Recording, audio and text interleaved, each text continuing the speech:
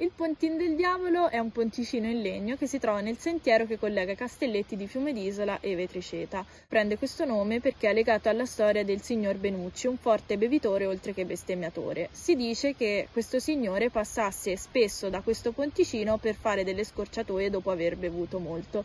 E si dice anche che in questo luogo lui abbia incontrato il diavolo e che per la forte paura presa abbia smesso definitivamente di bere e bestemmiare, divenendo un uomo migliore.